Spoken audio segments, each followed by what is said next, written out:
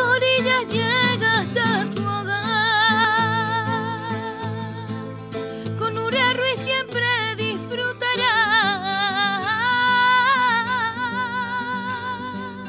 Radio San Roque no tiene final. Buenos artistas siempre escucharán. Buenas tardes, queridos amigos. Una semanita más, el segundo programa de arte y cultura Aunando Orillas, aquí en Multimedia San Roque.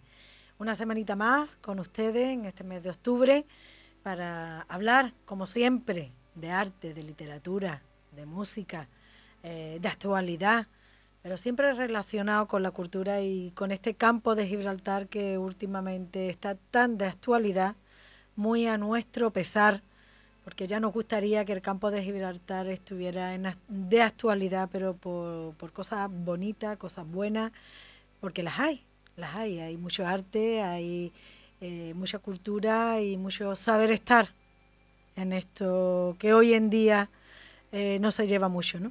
Así que una servidora, Nuria Ruiz, eh, comienza este programa, vamos a tener una, escritora, periodista, invitada, ella es Rosario Pérez Villanueva, Mm, conocida por todos vosotros y, los que no la conozcan, pues tienen la oportunidad de hacerlo ahora en, este programa. Como siempre, como siempre, nos acompaña nuestra compañera, también periodista. Belén, Belén López. ¿Qué tal? ¿Cómo está Belén? Como siempre, como siempre. Bien, bien. Ya estás al día del trabajo, porque la semana pasada como que... Sí, estaba un poco despistada, sí, pero ya cogiendo el ritmo otra vez casi noviembre, si no cojo el ritmo, mal me va, Nuria. claro. Mal me va. Bueno, Belén, este fin de semana tenemos muchas cositas. Hay muchas cosas. Mm, antes de relatarte un par de cosas que, bueno, algo que pasaba ayer, que se entregaban los premios en la muestra de cine Super 8 y 16 ah, milímetros aquí en San Roque, que llevamos este certamen no lleva tanto tiempo como el del cortometraje, pero también lleva sus buenos 8 o 10 años, creo yo, este certamen. Pero antes de comentarte eso, Mujeres Invisibles. Eh, Mujeres Invisibles. Esta noche o mañana. Sábado por la noche. Sábado por la noche. A las 8 de la tarde, en el Galiardo, aquí en San Roque. Yo creo que es una cita a destacar y muchísimo, ¿no? De este fin de semana en San Roque. ¿Estás pues preparada? Bueno, pues yo no estoy preparada nunca para subirme a un escenario. Que yo la semana pasada no quería decir que tú eras patata. Tú eras una patatita No, tú dijiste que yo era patata con todas las letras y con todas las vocales. y ahora no te puede... Sí, no intente ponerlo bien.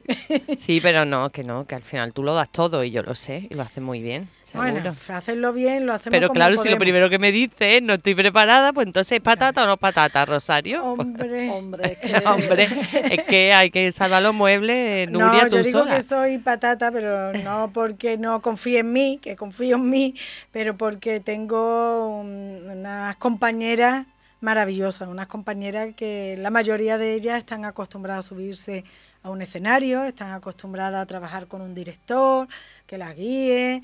Eh, yo soy un poco anárquica. no estoy acostumbrada a que me dirijan.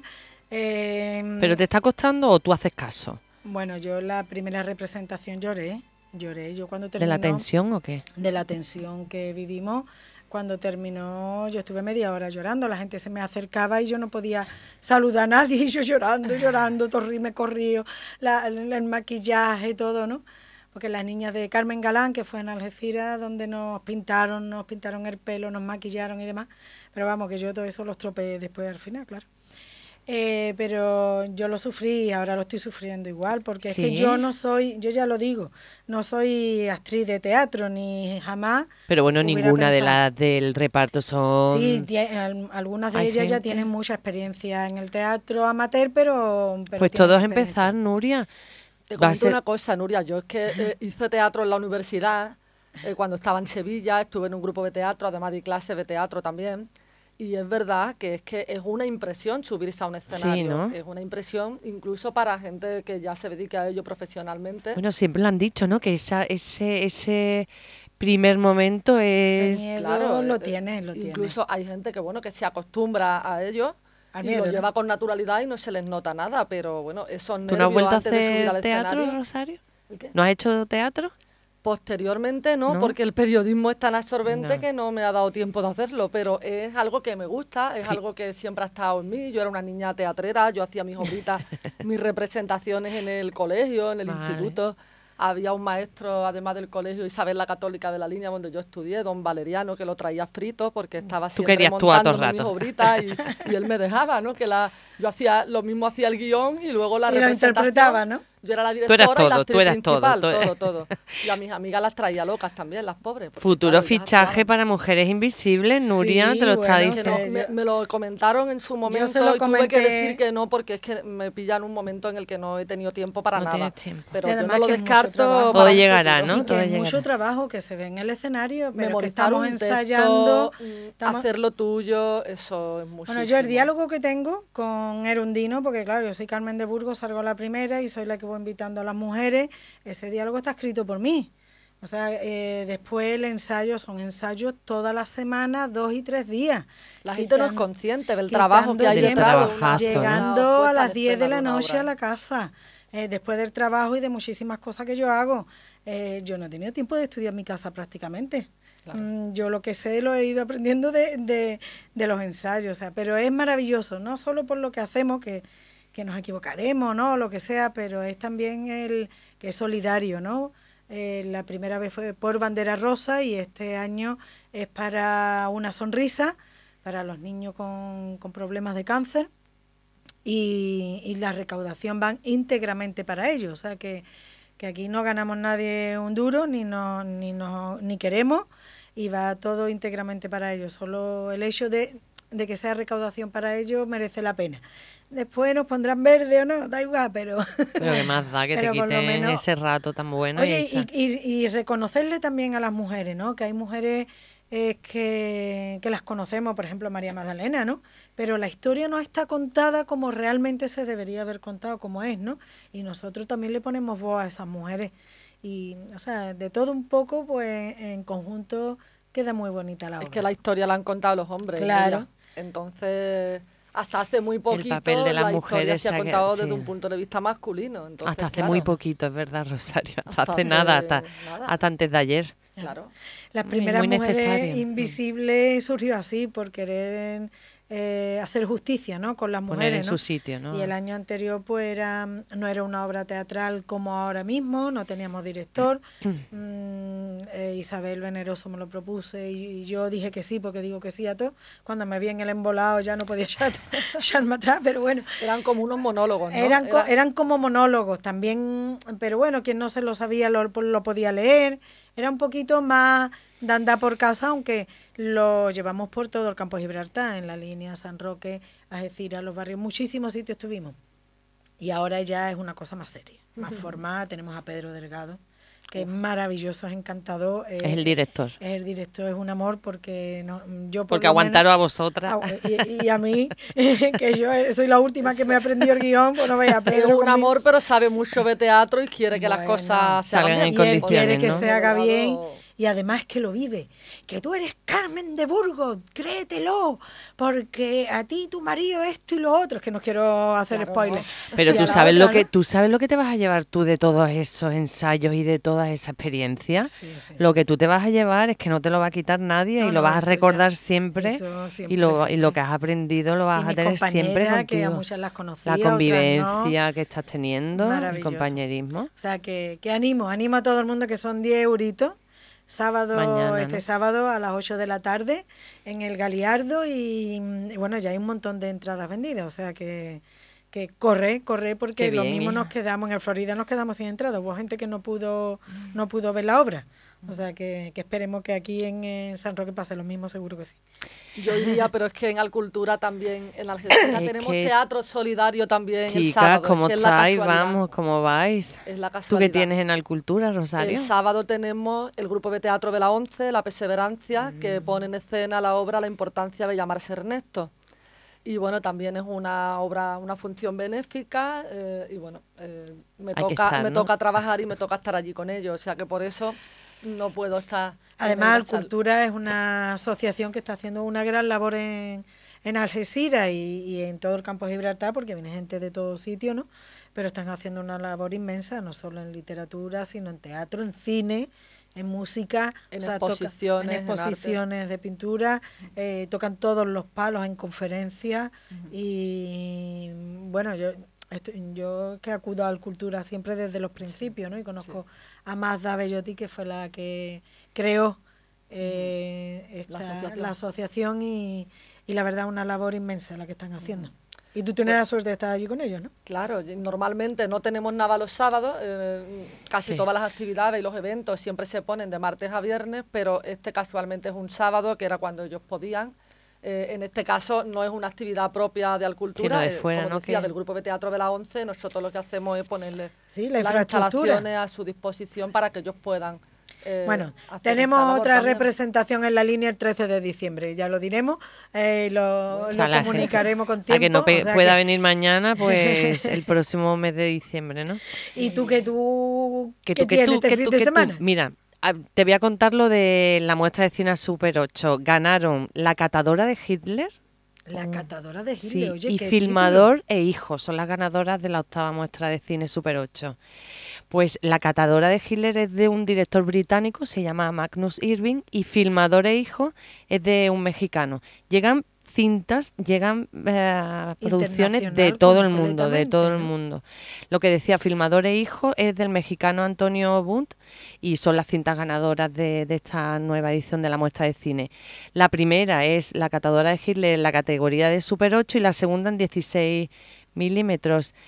El certamen han estado toda la semana, comenzaba el lunes y anoche se entregaban lo- los premios eh, en el Palacio de los Gobernadores. Es un formato que no es, se ha puesto de moda, eh, la gente sigue produciendo en 8 milímetros y en 16, pero tampoco es una cosa mayoritaria, o sea, que tampoco que pueden llegar 14, 20 cintas, ¿sabes? Pero que pero que ahí está San Roque manteniendo su, su Y llegan cintas con años. calidad, ¿no? Con calidad, aunque lleguen Sí, sí, sí, sí. Sí. poquita ahora mismo, porque Mm. lleva poco tiempo. Sí, porque es, es más fácil grabarlas, es un formato un- poquito más complicado, pero no es difícil. Pero siguen llegando y además como se abre a todo el mundo, Claro. ¿Y dónde se puede ver? Una vez que ya han entregado los premios. pues que- me imagino que las colgarán en alguna plataforma o algo, no lo sé. Pero lo suyo es venir a San Roque al teatro. La catadora de Te- tiene... Eso atrae, atrae para verlo. Bueno, ¿Te ha llamado a ti la atención? Sí, no? me ha llamado. A mí es que el tema de Hitler y los alemanes de aquella época, Pues, la historia esa... Hay una serie me- me gusta buenísima. Hay una serie buenísima que es como de ciencia ficción, es como si los nazis hubiesen ganado la, la Segunda Guerra Mundial junto a los japoneses. ¿No habéis escuchado? No.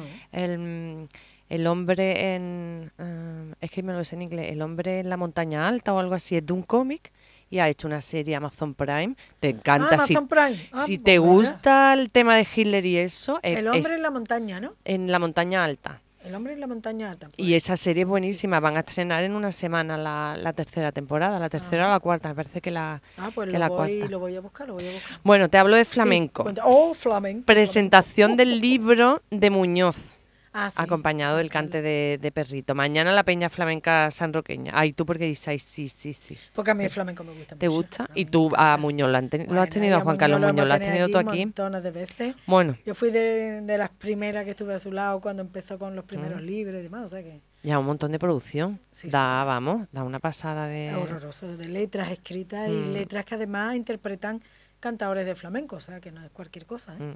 Pues mañana la sede de la Peña Flamenca Sanroqueña eh, va a presentar el libro que tiene por título Alegrías de Cádiz, Cantiñas y Alegrías de Córdoba de Juan Carlos Muñoz y también va a ir acompañado al cante a cargo de José Antonio Romero, el perrito, con el toque de Juan Cerpa. Es todo gratis y además hay tapita. Anda, pero será después del teatro nuestro, ¿no? No es antes. Ah, antes. Es antes, O sea, que empieza a las dos y la- media. Ah, entonces se toman Hay salmorejo y papas flamenco claro. Y se van para después A las, la tres y me- Alameda. a las dos y media las tapa, a las tres y media la presentación del libro, después Un sábado completo. una tarde de sábado estupenda. Ve, Rosario, tú no puedes venir tampoco. Bueno, a lo mejor sí. No, bueno, a, lo mejor antes de a lo mejor, Alcultura. depende de cómo me pueda yo organizar el día. Pero es verdad que me agrada escucharos y contar estas cosas y hablar de la agenda cultural del fin de semana, porque muchas veces Pasa en Algeciras, pero creo que pasa también en, En- otros municipios de la comarca. Que hay gente que se ha enrocado en el San Benito o en la cantina. De no hay nada, aquí es que no hay nada. Es que no hay nada, es que no hay nada, es que no hay dónde ir porque no hay nada. A ver, ¿cómo que no hay nada? Si a mí me falta tiempo, me falta vida para poder ir a todo lo A que me gustaría. todo lo que nos gusta. No me da la vida, ¿no? Y además muchísimas de las cosas gratuitas y si no son gratuitas son solidarias con So- precios. solo tienes que poner un poco de interés, abrir la página sanroque.es y te damos todo. Y si no tienes ganas de que tiene un fin de semana que dice, bueno, voy a ir a ver algo, pues te vas a guadiar a ver rugby o te vas a cuando juegan las estiras, la balona, el San Roque. ¿Sabes? Que hay mucho deporte también. también sabes qué pasa, que muchas veces la gente, digamos que me molesta un poco porque como yo trabajo en la difusión Claro, de eventos culturales, digo, bueno, mm, me parece injusto porque no es verdad, me parece injusto porque no es verdad. Ya. Muchas veces la gente coge la cantinela de, ay, pues yo no me he enterado, ay, pues yo no me he enterado. No van a ir a contártelo a tu casa, tú no te has enterado porque que no escuchas la radio, tienes que poner un poco porque de no compras el periódico, porque no te metes en internet, en los numerosísimos periódicos digitales que tenemos también en la comarca, donde viene la agenda cultural de todos. Entonces, sí, claro, si tú no oyes la radio, no estás al día, no, no consultas el periódico ni siquiera en la edición Pues no te va a digital, enterar, no te vamos ¿cómo a te va mandar de algo? no te va a si no tienes Twitter, no tienes Facebook, no No, te también metes, muchas veces son no te puedes enterar. A Son tu casa no van a ir a decírtelo, claro. Como eh, antiguamente que iban por los pueblos leyendo. Como leyendo y O con el coche, que con el coche, Pero con el, que altavoz. quiere enterarse se entera, porque Claro hoy que en sí. día, antes a lo mejor, pues sí, había un periódico o dos en la comarca, había menos emisoras de radio, hoy antes era más difícil. Pero hoy, Y hoy con las redes con los medios sociales, locales, los medios digitales, con Mm. internet, el que no se entera es porque no quiere. Esos son excusas, Excusas para, para quedar bien, por no decir, mira, que no quiero ir a una presentación de un libro, pues no me quiero Que gastar dinero, pues no vaya, que no quiero claro. coger coche para ir a ver a estas mujeres ahí, que me da igual las mujeres, lo que sea, y, y son excusas, ¿no? Bueno, pero que el que no tiene ganas de moverse de su sofá, pues mira, también es lícito que no se mueva, pero mm, no utilices eso, la No. excusa barata de decir, es que yo no me he enterado, no. Si tú quieres, te enteras. Hoy en día Claro. no hay y más los que para, estamos para en, no en estar la, en- la gestión cultural, que nos movemos, que, que estamos organizando cosas, tal cual, que nos digan, es que no hay nada, eh, a mí, a ti te duele, pero Eso a molesta, mí en ¿eh? el alma. Porque me digan, eh, digo, por Dios, como que no hay nada, si es que yo lo que quisiera es estar en mi casa cinco minutos y estoy todo el día fuera con ta- tantos actos que hay, o sea que... Tú tampoco eres normal, ¿eh? Que yo Porque no tú te gusta no más una calle que no veas. Yo sí. Claro que sí. Eso me dicen a mí, es que te gusta mucho una calle. No, a mí me gusta Es que mucho casa. cardeosa, como se Es dice. que es no, verdad, es-. Cardeosa. Rosario es súper cardeosa, está todo el día por ahí. Mira, todo el verano de concierto, todo el verano. Mira, de verdad. Yo es que a no mí sé me gusta decir que no, y lo que hago me gusta. Mira, hace... ¿Ve? ¿Ve? ya se empieza a liar. ya. Claro, y me, y me lían rápido. Yo a mí no me tienen que empujar, que yo me tiro sola, ¿no? Pero ya eh, estamos preparando la, bueno, que ya se ha lanzado las bases del tercer concurso de poesía de Puerto Soto Grande. Lo he Eh, visto, he pues visto. nada, pues ya hace tres días y estamos liados, ya está la cartelería, ya está en toda, eh, difundido por todos sitios, que quien quiera participar en el concurso de poesía lo puede hacer, que tenemos la entrega en marzo del año que viene. Bueno, pues ahí estamos, ya los jurados están preparados y nada, pues otra cosa más.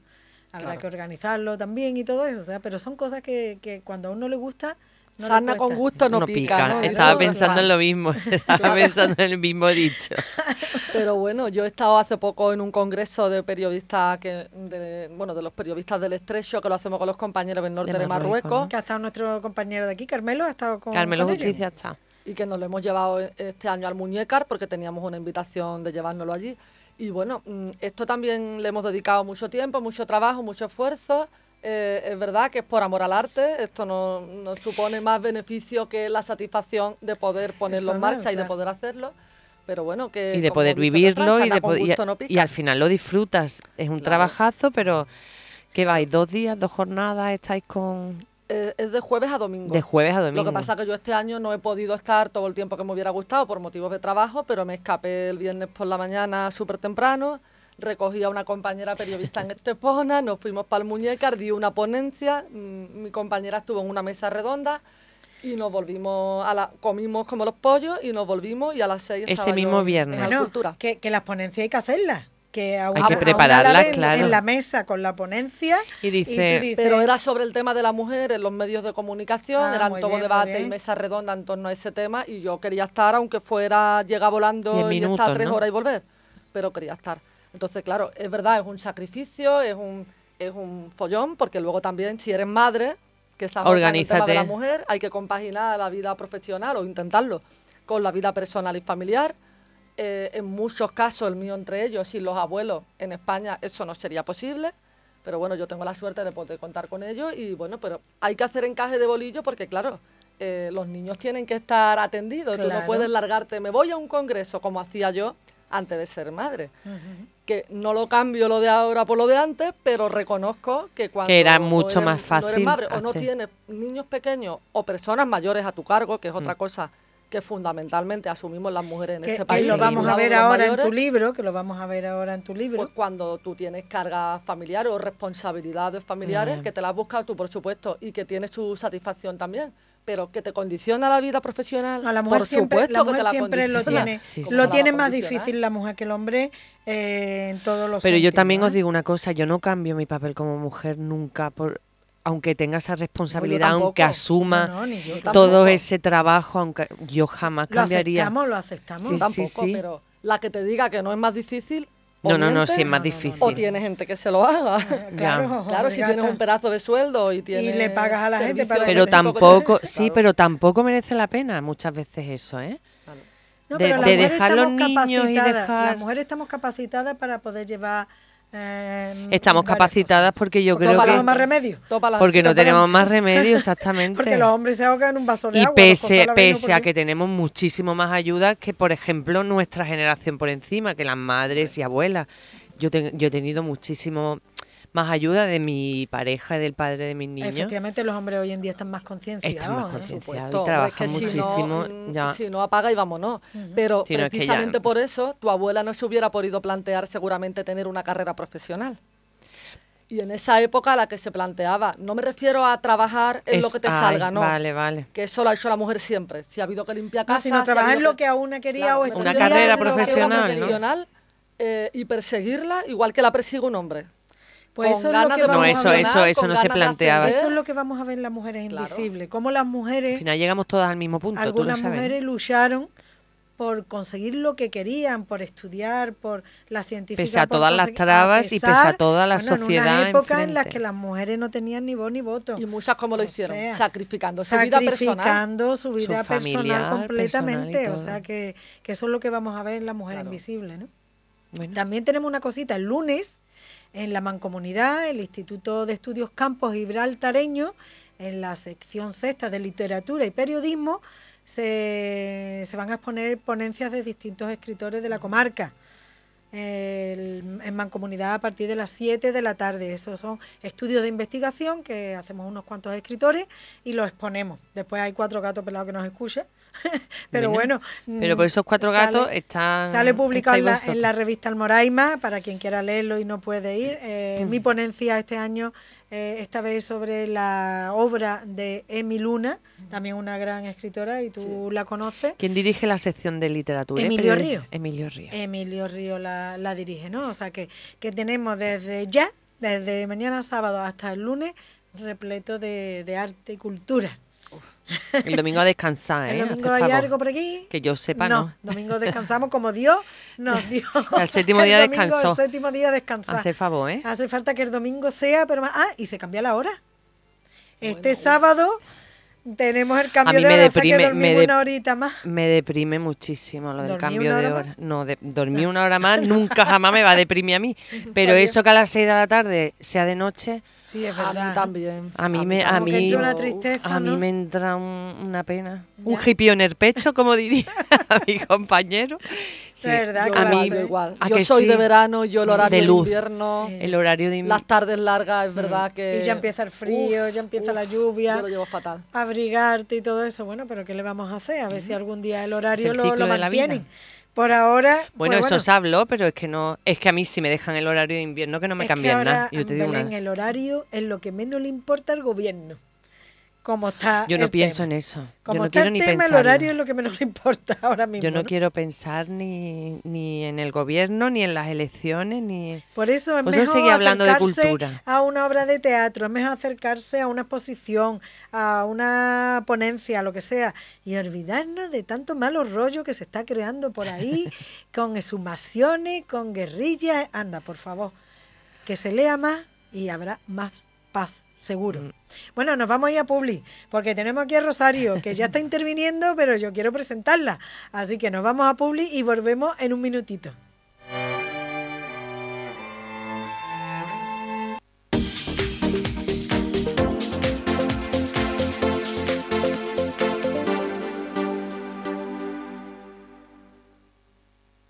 Canal San Roque.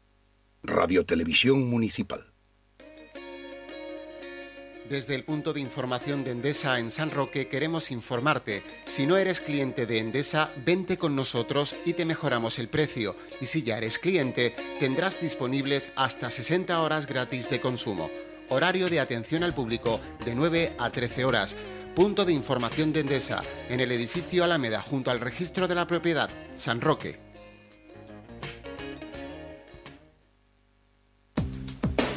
Ante cualquier urgencia, si tienes que llamar a la policía local a través del 092, no utilices móvil. Haga la llamada a través del teléfono fijo. En caso contrario, utilice el teléfono 956 780256. Es un mensaje de la policía local de San Roque. Casa Falcón, su tienda en San Roque con más de 50 años de experiencia. Financiamos su compra a su medida sin entrada y hasta 12 meses sin intereses. Reparto de muebles a domicilio y montaje gratis. Tenemos todo para su descanso, colchones, bases, canapés. Pregunte por nuestros precios en colchones y bases en medidas especiales. Le instalamos su frigorífico, lavadora o lavavajilla sin coste alguno y retiramos su electrodoméstico usado gratis. Presupuesto sin compromiso. Visítenos y compare nuestros precios. Estamos en calle Larga 3, 5 y 17. Teléfono 956 7803 34 San Roque. ¿Necesitas velocidad en tu conexión? Fibralízate. Abatel, la fibra óptica de verdad Ahora 500 megabytes a precio de 100 megas. En abatel.es.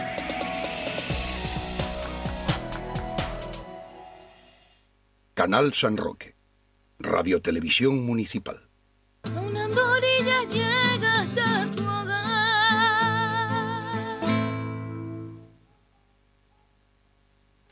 Aquí con nosotros Rosario Pérez Villanueva y ella ha venido a hablar de su libro. No la hemos traído de tertuliana ni nada de esto, pero bueno, eh, ella cuando tiene que decir las cosas no tiene pelo en la lengua y lo dice y, yo encantada de que, de que participe con nosotros. Pero yo quiero presentarla en condiciones, ¿no? Eh, hablando del Instituto de Estudios Campos Gibraltareños, de las ponencias que se van a realizar el lunes, eh, una de las ponencias que uno de los estudios que hice sobre una escritora pues también fue sobre Rosario Pérez Villanueva antes de que eh, el libro ya estaba en su cabeza, la novela ya estaba en su cabeza, pero todavía no lo tenía plasmado como, como lo vamos a ver ahora, ¿no? Pero voy a, dar unas pinceladas de, de su trayectoria. Una poeta comprometida con el periodismo. Así comenzaba yo una, una de las ponencias sobre Rosario Pérez Villanueva, para el Instituto de Estudios Campos Gibraltareños en el noviembre de 2015. Aunque está realizada sobre su poemario Tardes de Incertidumbre, en las fronteras de la memoria, su último libro, también está presente ese elemento lírico, algo que no es extraño por su condición de poeta. Según el periodista Javier Rodríguez Marco, la poesía te aparta de tus certezas y el periodismo de tus engaños. Aunque se habla mucho sobre las fronteras existentes o inexistentes entre el periodismo y la literatura, el debate sigue siendo rico y complicado. Pero lo que está claro es que la poesía y el periodismo convergen en, el relato de la vida, porque el periodismo, al igual que la poesía, son dos géneros literarios que se igualan en un mismo quehacer, el oficio de escribir, aunque con diferentes modos de consultar la vida, de interrogarla. José Manuel Serrano, también un gran periodista y compañero de, de Charo, me habló de ella para, esa ponencia que realicé con, con las siguientes palabras. José Manuel Serrano me decía, Rosario Pérez tiene dentro, tanto periodística como literariamente, mucho más de lo hasta ahora ofrecido. Eso le convierte en una autora que hay que tener muy en cuenta en el presente y en el futuro. Eso lo dijo ya en 2015 cuando todavía su novela no estaba, eh, no, no, no, estaba a la luz, ¿no? No la conocíamos nadie, ¿no? Está claro que Rosario lleva en la sangre el gen del periodista de raza y en el corazón el gen de los versos libres. La periodista y escritora Rosario Pérez Villanueva, linense del 74, ha sido redactora del diario Europa Sur, corresponsal del Mundo, columnista del diario La Nueva Verdad y periodista del gabinete de prensa de la subdelegación de gobierno de la Junta de Andalucía.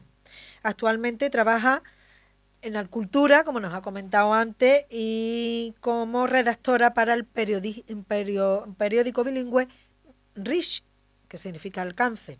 Realiza tareas de comunicación para la Asociación Al Cultura y continúa firmando una columna de opinión en Hoy por Hoy de la cadena Ser, donde lleva ya pues para 15 años y por la que recibió el premio José Luis Tobalina por uno de, sus artículos que se lo otorgó el Ateneo, el Ateneo de Algeciras. Es vicepresidenta de la Asociación de la Prensa y de la Demarcación Territorial del Colegio de Periodistas de Andalucía, perdón, en el campo de Gibraltar. Pérez Villanueva es también coautora de dos manuales prácticos editados por la, esta asociación de periodistas que se titula Información e Inmigración, Recomendaciones para Periodistas y Información, Industrias y Medio Ambiente. En cuanto a su trayectoria literaria, la autora de Las Fronteras de la Memoria ha escrito también el libro de poemas Tardes de Incertidumbre, editado con la colección Estrecho de Periodistas. Y ha publicado parte de su poesía en revistas literarias como Carpe Diem o Hércules y portales digitales como La Torre de Montaigne. Su primera novela, Las Fronteras de la Memoria, publicada en Caligrama, del grupo editorial Penguin Random House, que tanto está sonando ahora mismo en las televisiones, que ahora lo comentaremos. Eh, la novela está distinguida con el sello Talento de la editorial y es una novela de amor y desamor o viceversa, con tintes de suspense. Ya no voy a contar nada más de la novela, nos lo va a contar ella. Y buenas tardes. Pues buenas tardes, ¿no? Tengo la garganta. Madre mía, sí, no te preocupes, además que... La garganta fatal. Ah, vamos, te has extendido un montón hablando de mi currículum, yo te lo agradezco es que es extenso, que, es extenso tu currículum. Hay otros que, con dos renglones es suficiente, ¿no? Pero bueno, contigo son es que son 20 años de, vida profesional y bueno, y, literaria un poco también. Claro, y por eso estamos aquí. Pues bueno. Mm. Cuéntame cómo se gestó la frontera de la memoria. Vamos a empezar por ahí. Vale. Y ya después lo vamos desgranando cosita a cosita. Cuéntame. Bueno, pues como tú has dicho, en el año 2015, eh, que fue cuando escribiste eso sobre mi trayectoria poética, porque todavía no tenía eh, trayectoria mm, publicando, aunque tú sabes, los que escribimos, escribimos siempre, relatos, artículos, lo que sea, pero es verdad que todavía yo no había afrontado la tarea de ponerme con la que ahora es mi primera novela, ¿no? Era una que ya tú me diste algunas señales. Sí, sí, porque ya estaba en ello, estaba en ello, pero a mí me pasó con esta novela, que era una historia que estaba dentro de mí, de alguna manera ha estado dentro de mí durante muchísimo tiempo, pero yo no terminaba nunca de encontrar el momento de, mm, de afrontarla como, como, tarea prioritaria, digamos, ¿no? Porque es verdad que cuando escribes poesía, al menos a mí me pasa, eh, es algo que tú puedes como escribir automático, como a trompicones, ¿no? automático a borbotones, sí. Eh, cuando te surge un poema, tú pum, pum, pum, pum, pum, además necesitas volcarlo lo vuelcas y a lo mejor ya está. A lo mejor hasta dentro de unos pero ya una novela no escribes otro. Claro, pero una novela se... Una novela no. Una novela necesita de un rigor, de una disciplina. Y tiempo. De tiempo, de una vez que empiezas no dejarla, eh, de constancia, de además tienes que hacerte un guion, un mínimo guion. Bueno, y aparte mm, cuando tiene mm, tintes históricos también, una labor de investigación. Una labor de investigación importantísima. De documentación, sin la cual no puedes armarla, no puedes avanzar en la trama. Yo además me di cuenta de que mi oficio de periodista, que me ha beneficiado para algunas cosas, porque evidentemente estamos acostumbrados a contar historias, estamos acostumbrados a narrar hechos. Entonces, bueno, eso te da un bagaje, te da un rodaje que, bueno, hace que para nosotros escribir resulte relativamente fácil, ¿no? Mm, relativamente. Hay un trabajo, hay un trabajo, evidentemente, hay un trabajo, pero hay muchos oficios que, bueno, en teoría, pues te facilita la, tarea de ponerte a escribir. No es lo mismo pues que alguien que se dedique a otra cosa, en la que no esté acostumbrado a pasar horas delante de un teclado, pues a lo mejor le cuesta más y para nosotros es algo más natural, ¿no? Sí, porque esto es como un puzzle, ¿no? Tú tienes toda la información, pero ahora tienes que engranarlo de tal forma que el que lo lea eh, lo entienda perfectamente. Claro, por no eso te te, vayas decía por que la me ha condicionado para bien y para mal. Para bien por el oficio, Sí, sí. por el estar acostumbrada a pasar horas delante de un teclado. Eh, para mal, digamos, literariamente, porque mi oficio de periodista me pesaba mucho a la hora de... eh, Ficcionar, ¿no? sí, me condicionaba a querer ser lo más fiel posible a los hechos históricos, a los acontecimientos, a los datos, a la fecha, a los nombres, a los lugares. Y claro, a veces yo me tenía que recordar a mí misma, a ver, o sea, relájate un poco que ahora no eres la periodista, ahora eres la novelista. Y como novelista que eres, estás creando ficción y tienes un campo de libertad creativa Claro. en el que te puedes mover. O sea que, evidentemente, si la Guerra Civil Española empezó en el verano de 1936... No se le puede engañar lector. Claro los, no. datos, los datos reales históricos tienen que ser fieles. Los ¿no? paisajes son fieles a la realidad. Claro. Los momentos históricos, eh, si eso pasó la noche del 18 de julio o la mañana del 19, pasó en ese momento. Si la población gibraltareña fue evacuada en 1940 y fue a estos destinos concretos, a Londres, Jamaica, perdón, Madeira, Jamaica, mm, Irlanda, pues fue a esos destinos. O sea, no me voy a inventar la historia. que no eso te está lo- claro. La no historia con mayúscula no te la puedes inventar. Eso es imposible. Pero la historia con minúscula sí. Claro. Y ahí es donde yo a veces me tenía que relajar un poco y decir, bueno, mm, Deja que los personajes se muevan libremente. que ¿no? tengo ciertas licencias narrativas que me puedo tomar. Claro, claro, O sea, claro. que mm, no pasa nada por cambiar de fecha una exposición a la que solo he ido yo. Eh, Claro. El lector no sabe cuándo ha sido esta exposición. O puedo Claro. coger esa exposición como recurso narrativo para crear otra de Otra exposición distinta en otro Exacto. momento. Entonces ahí era donde yo me daba cuenta de que me tenía como que quitar el, eh, no sé, la bata no porque no tenemos bata, pero sí el, el disfraz o, o el uniforme de periodista. de periodista, ¿no? y, y Pero se nota, se nota que es una periodista la que escribe, ¿eh? aunque tiene muchos tintes poéticos, porque tú eh, al principio del libro, siempre los principios del libro son importantes, por lo menos para mí. Mucho. Eh, las dos primeras hojas, si no te llegan aquí, eh, te cuesta trabajo seguir leyendo o incluso a veces lo dejas, ¿no? El libro de... Y mira que estoy acostumbrada a leer libros de escritores locales, se pueden decir, ¿no? Pero este libro como que pasa las barreras de lo local, aunque hable del campo de Gibraltar, para mí esto pasa a la- las barreras de lo local, ¿no? Eh, estoy acostumbrada a leer a todos los escritores y las dos primeras páginas, cuando empecé a leerlas, eh, a mí me llenó, porque mm, habla de una enfermedad que, que, mm, aunque no la hayamos vivido, la estabas leyendo y parecía que, que la conocías, ¿no? A mí se me saltaron las lágrimas y digo, y no sabía de qué iba. Bueno, quise preguntárselo, digo, esto, esto es muy bueno lo que yo estoy leyendo, ¿no?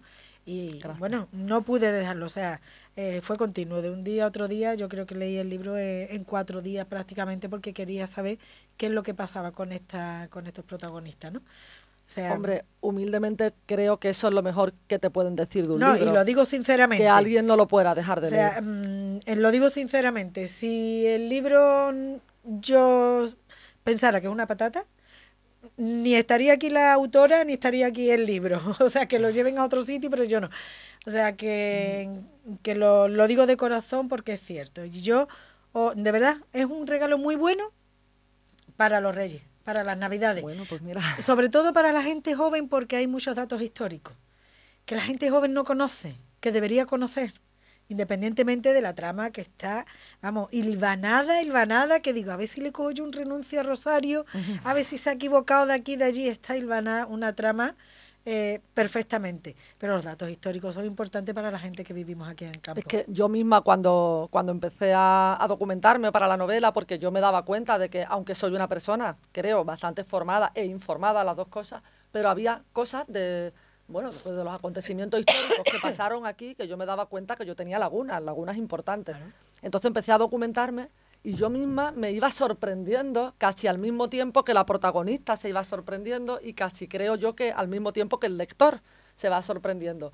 Porque yo, por ejemplo, mm, por dar una pincelada que ahora está de actualidad, eh, yo no tenía ni idea de que Franco había estado en Gibraltar Ni en los meses nosotros, previos a, a la guerra civil, ¿no? Al comienzo de la guerra civil. No tenía Ah, ni Belén idea. sí, Belén sí lo sabía. Eh, sí, pero bueno, sí, lo pero sé, Belén sí. tiene Lo un sé. punto más Pero- porque ella está muy relacionada Claro. con Gibraltar. No, pero es que yo estuve. mm, Yo hice un trabajo con Pepe Veneroso y sé. ahí fue donde gracias a Pepe Veneroso eh, dest- y destapamos toda esa visita de Sanjurjo, de Franco y de todo. Sí. Fíjate que has ido a decir el dato. Claro, es que yo además De los la pocos leí en datos un que que Pero tú eres vosotros excepción.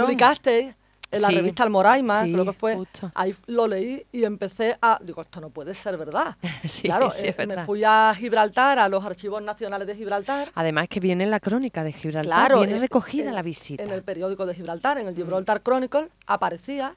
Y además descubrí que el Gibraltar Chronicle había sacado una edición paralela en español. español, En español, sí. durante unos días, por primera y única vez en su historia, para informar de lo que estaba ocurriendo a ambos lados de la verja, Mm. En el- entre los meses de julio y agosto del 36. Entonces, claro, era como- iba como de descubrimiento en descubrimiento y decía, pero bueno, esto es- Fíjate Qué que ojalá el libro que ha sacado Pepe Veneroso, que se ha publicado hace poco, de Mm. Franco en Gibraltar, de marzo de 1935, yo cuando he conocido a Pepe, que le he conocido a raíz de la publicación de nuestros libros y ha sido además un Sí, que encuentro sido casi feliz de estos que se producen entre autores, se lo decía, digo, Pepe, ojalá hubiera tenido yo tu libro hace tres años.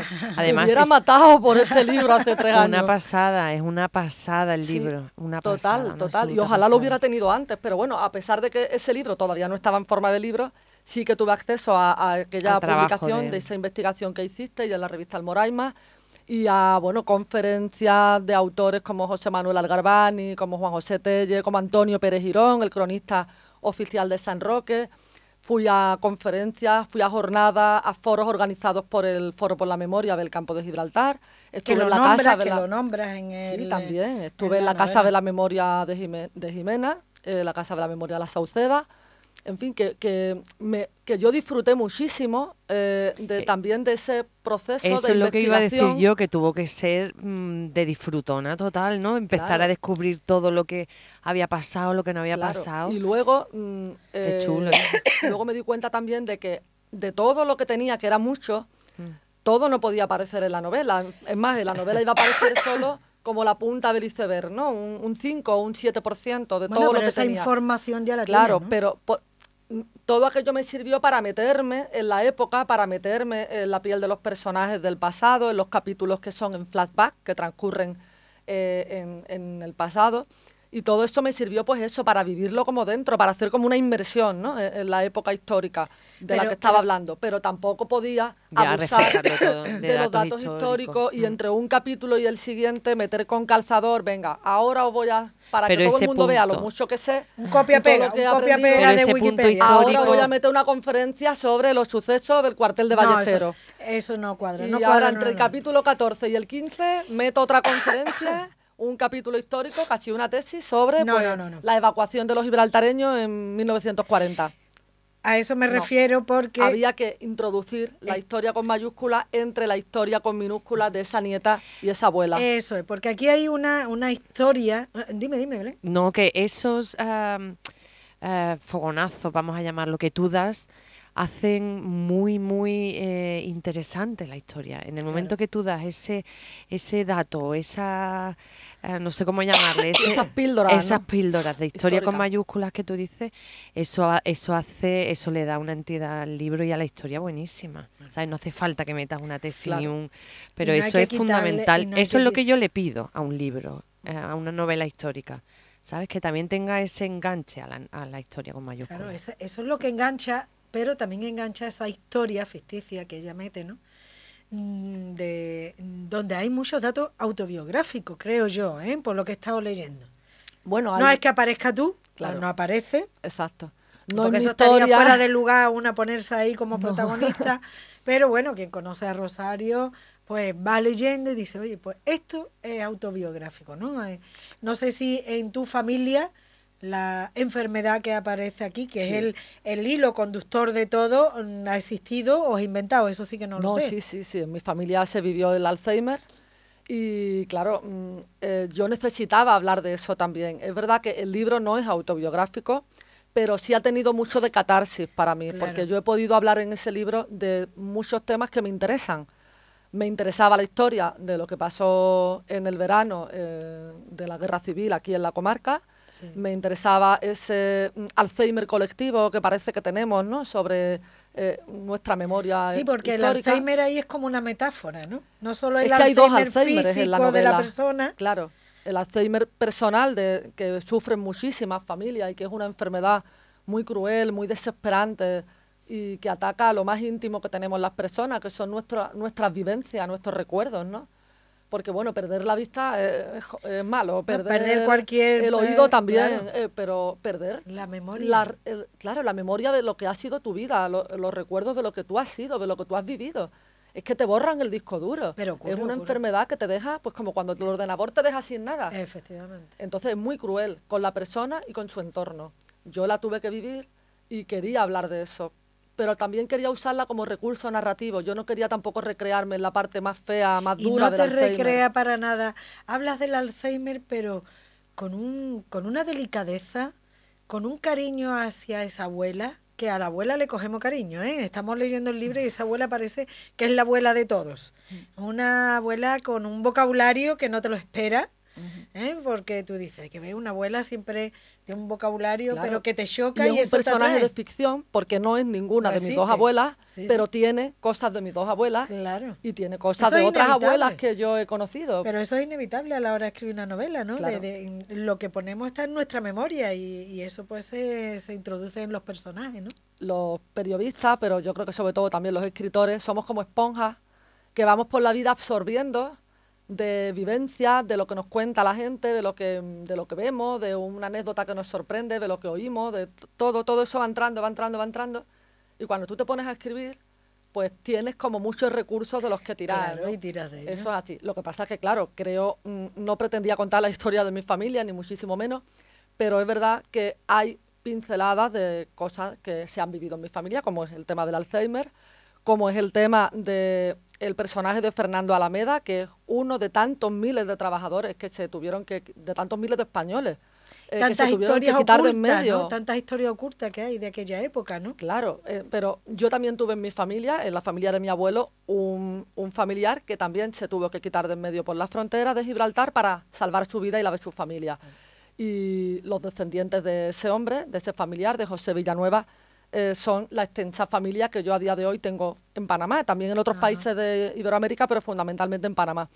Pero yo no pretendía contar la historia de este hombre ni de su familia, porque además mm, me hubieran faltado mimbres, no, me consideraba autorizada tampoco, y porque mis tías de Panamá, las hijas de ese hombre, que ellas eran de la línea, tenían 13 y 15 años cuando, cuando se fueron eh, y cruzaron la frontera, eh, cada vez que yo he intentado hablar con ellas de ese tema, como le pasa a muchísimas personas mayores, te cuentan algo y al rato están llorando.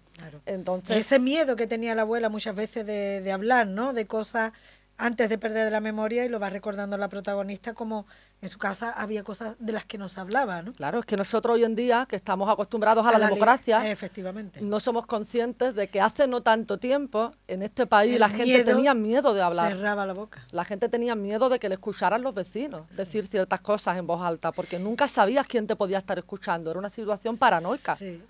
Eh, eh, porque bueno, eso ocurre en algunos países todavía, ¿eh? Claro que sí, claro que en sí. En Marruecos lo he vivido yo eso. Que sí, pero en el nuestro sigue ocurriendo, eh, perdón, ha estado ocurriendo hasta hace muy hasta poco. Hace poco ¿no? Y parece que lo hemos olvidado, parece que no ha sido así nunca. Que en España muchas veces olvidamos muchas cosas. Sí, con, con mucha facilidad además. Entonces a mí me interesaba mucho hablar de esa época y de esas personas que tuvieron que callar cosas y de esas miles de personas que vieron Gibraltar no como lo vemos muchas veces, ¿no? Como una frontera, como un muro eh, que separa, era una como una puerta también por la que colarse, como una rendija abierta por a la, que libertad, escapar. A la libertad muchas veces. A la libertad y a continuar y, a escaparte de la muerte, claro. Y bueno, y eh, me interesaba crear ese personaje, pero no contar la historia de este familiar, sino que este personaje representara un poco a todos, los, miles de campos gibraltareños, fundamentalmente linenses, que cruzaron esa frontera en el verano del 36 pensando la mayoría de ellos que eso iba a ser para unos días. Porque además se fueron con lo puesto. Y muchos de ellos no volvieron ya. Y muchos de ellos no volvieron jamás. Lo que iban a ser unos días fueron tres años y después de los tres años además muchos se encontraron con que no se daban las condiciones en su caso para poder volver sin arriesgarse pues a la muerte o a la prisión de por vida.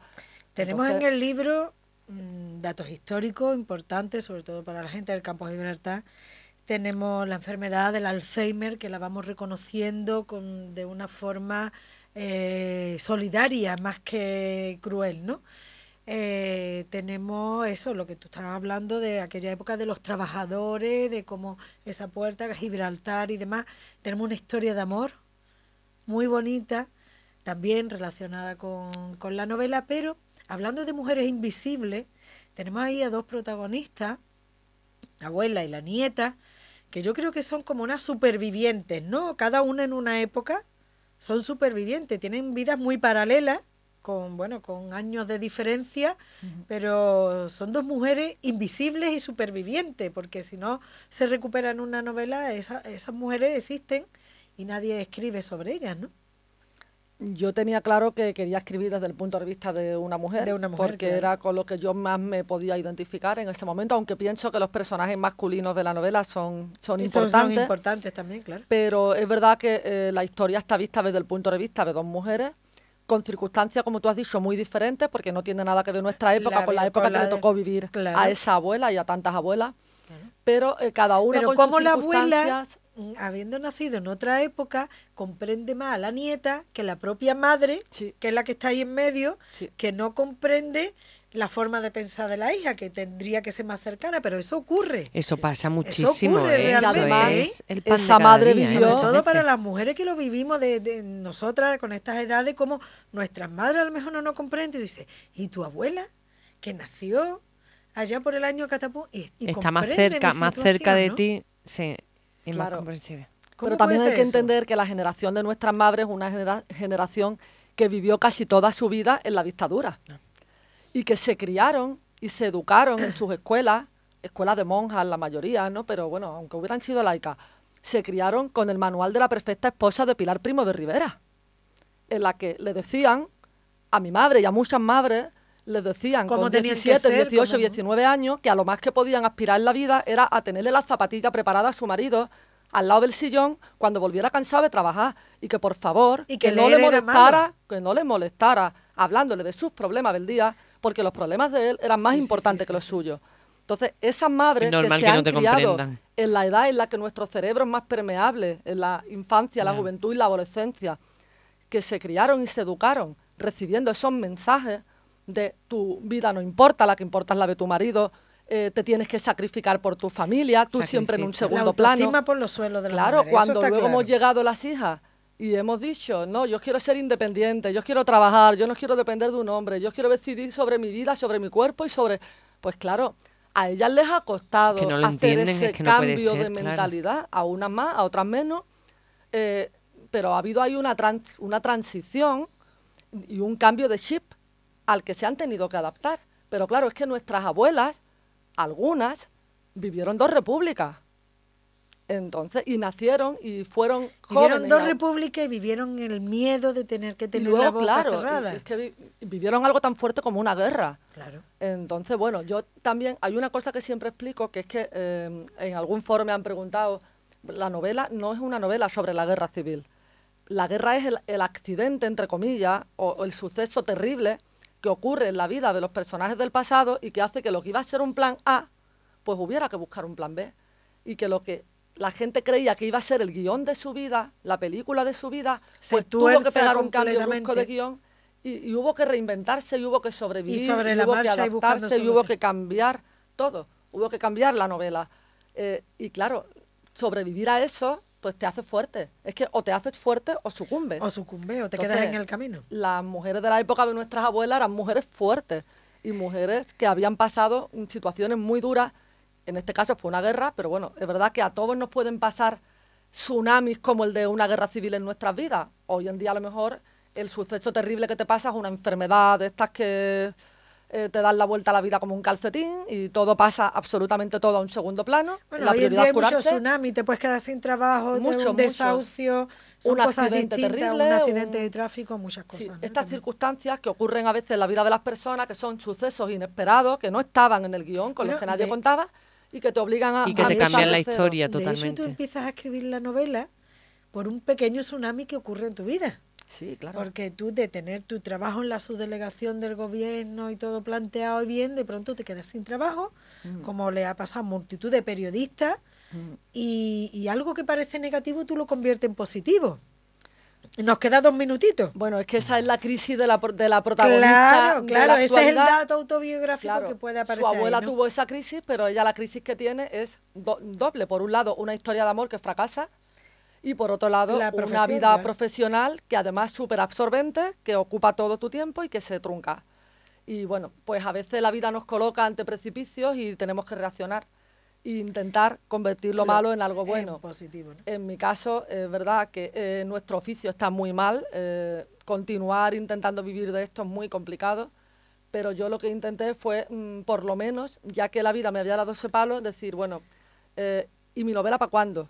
O sea, ahora Pues no puedo ahora. decirme a mí misma ¿Para cuándo? que Ahora no tengo tengo- tiempo. ahora tengo tiempo, Ahora ¿no? ¿no? tengo la excusa. Ahora ya es que mm, tengo Como que hacerlo. empezamos al principio, hace falta tiempo, además de otras cosas, pues en ese momento tenías Sí, tiempo. y- yo no lo busqué, me obligaron, me lo pusieron por delante, pero bueno, El ya que te- la cuando la vida te coloca en, en el borde de un precipicio, o saltas o te quedas ahí sentado, muerto de miedo y, y ya Claro. se acabó todo ahí, ¿no? El destino muchas veces no sabe que... No, y no, no, no nos queda mucho tiempo, ¿no?